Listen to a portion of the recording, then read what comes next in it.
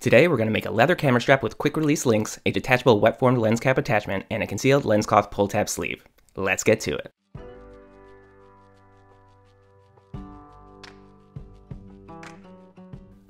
I started this project by picking up a leather strap from District Leather Supply. I wanted this strap to be really strong, so I went with an 8 to 10 ounce thick leather strap made by Wickett and Craig.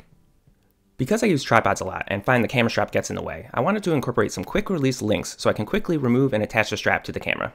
I'm a big fan of Peak Design's anchor links because they are really strong and equally easy to use. Now they come on most of their products, but you can also buy just a set of the links, which is perfect if you're making your own strap like we are today. The strap I received was 1.5 inches wide, but I wanted it to be a little thinner, so I decided to cut it down to 1 inch wide. Now you could easily do this with a straight edge and a rotary cutter or an X-Acto, but I have this strap cutting tool that makes it super easy and precise. You simply set the strap cutter to the width you want, feed the strap through the slot, and then keep pulling it through until the whole strap is cut. The length of the strap is completely up to you, but I found that I wanted it to be 38 inches long from end to end. Each end is going to overlap itself to attach it to the quick release links, so to account for the overlap I added 2 inches to either end, making the total length of the strap 42 inches long. Where the leather attaches to the quick release links and doubles back on itself, the thick leather can get kind of tough to manipulate. So to fix this, I decided to thin that section out by skiving it. To do so, I used Weaver Leather's French Edger tool. As you can tell from the video, this was actually my first time ever using the tool. The tool worked really well, but you definitely have to get the feel for skiving, but I was able to make it work.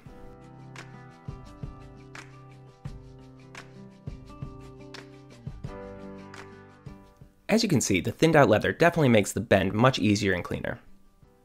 The connection slot on the quick release links was only 3 quarters of an inch, so I needed to cut a little off each side at both ends for it to be able to slide through.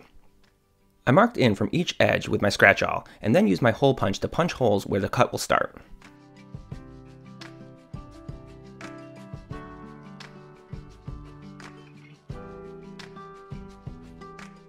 I punch the holes because this helps prevent the leather from splitting down the road where the two cuts meet.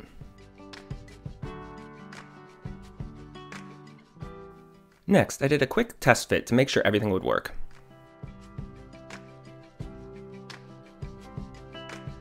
Before attaching the quick release links, I decided to do the edge finishing. I started by using my edge beveler to add a bevel to the top and bottom edges of the strap.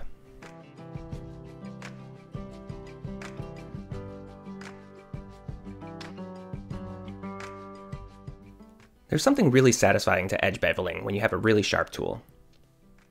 Next, I moved on to cleaning up the flesh, unfinished side of the leather. Now this strap is actually pretty good as is, but sometimes the unfinished side can be really pulpy, and this is a great way to smooth it out.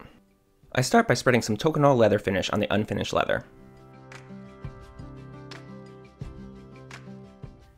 Then I use a glass slicker to really work it into the leather and smooth everything out.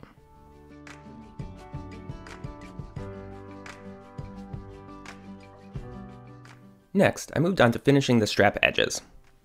I again used Tokonole, but this time I used their brown version.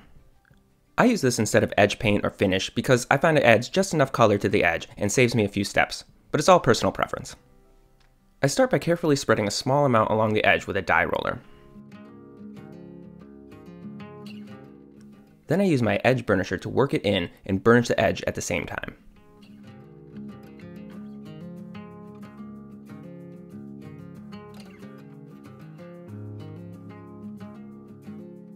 Once that dries, I come back with a piece of canvas and some of the clear Tokonole. I again spread a small amount on the edge with my finger, and then use the canvas to polish the edge.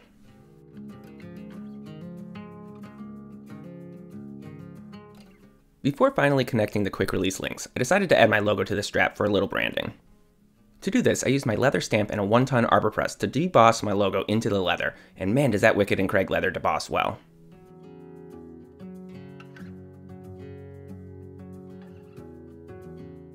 Okay, let's finally connect these quick release links. I started by using my scratch awl to mark off where to apply the adhesive. Then I used some Tandy Leather's EcoWeld adhesive to attach the strap to itself.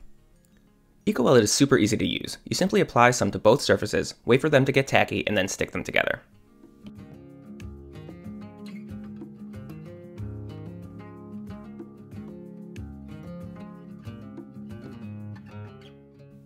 Next, I use my wing dividers to score stitch lines along each side where the leather is overlapped. Then I used my pricking irons to punch the stitching holes. My 8-prong pricking iron was actually the perfect length to do one punch on each side. That wasn't planned, but I'll take it.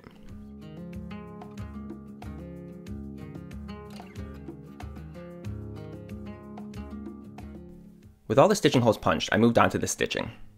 I made a video dedicated to leather stitching where I go in depth into the process of how to do the saddle stitch and others, and I'll leave a link above in case you want to check it out. But at a high level, what I found is easiest is to just pick a sequence and stick to that. For example, I always start by using the right needle to stitch from the back and then stitch the left needle from the front into the same hole but in front and under the right needle's thread.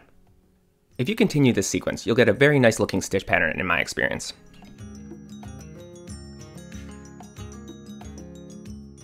With that, the camera strap was done and ready to attach to the camera.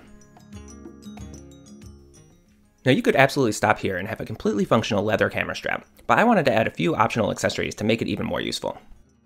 I'm always misplacing my lens cap, so the first accessory I wanted to add was a detachable wet formed lens cap holder.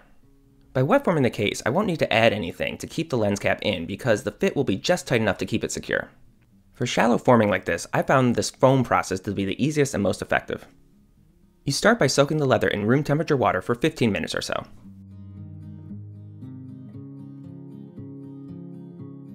While that's soaking, I added some tape to two pieces of wood and grabbed a 1.5 inch thick piece of foam that will sandwich between two pieces of wood with the leather and lens cap. Once the leather is completely saturated, I pat it dry, then sandwich it on top of the lens cap between the wood and the foam and apply some clamps. The foam forces the leather down over the lens cap while the leather dries, and if everything works well, the leather will dry, holding the shape of the lens cap. And as you can see, it worked really well. It even almost shows the Fuji logo.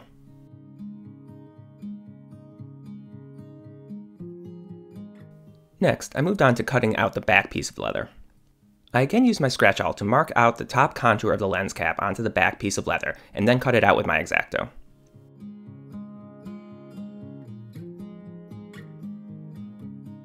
To allow me to detach the lens cap holder from the strap, I added some snaps onto the back of it before gluing the front and back together.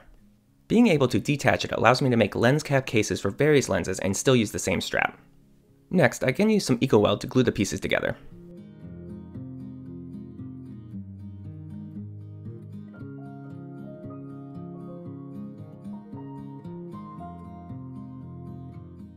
Then I use my X-Acto to cut off the excess leather around the edge. To add more strength, I decided to add some stitching around the edge and again started by using my wing divider to score a stitch line. Then I used my pricking irons to punch the stitching holes.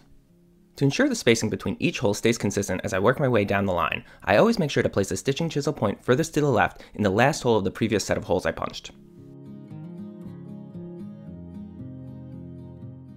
Then I again used the saddle stitch I explained earlier to stitch everything together. As I mentioned at the beginning, the wet forming creates just enough grip to hold the lens cap in the case while still being able to quickly remove it when needed.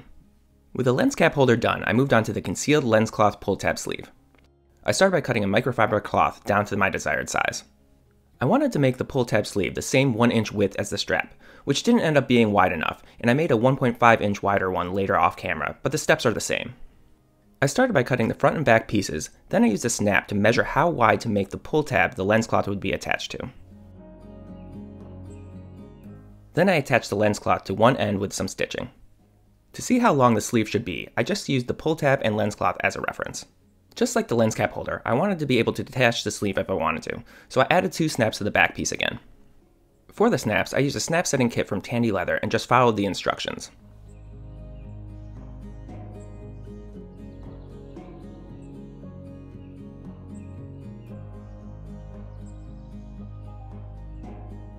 To secure the pull tab closed, I also added a snap to the bottom of the front piece. Next, I used some EcoWeld on each side to attach the front and back pieces.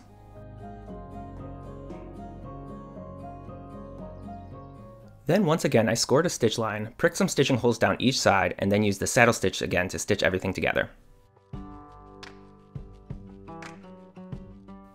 Once the sleeve was assembled, I could push the pull tab through it, and then measure where to add the snap on the pull tab.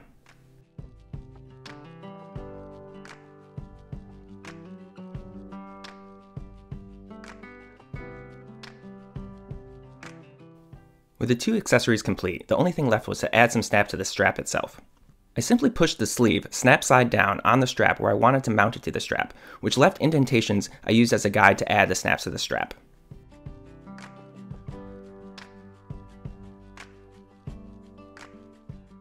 Then I repeated the same process on the other side of the strap with the lens cap holder.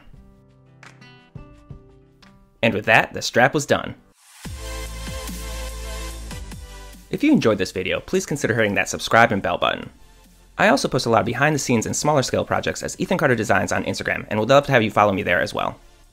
I also just launched a Patreon and Buy Me a Coffee for anyone that's interested in supporting my channel and helping me to keep learning and sharing these projects and videos.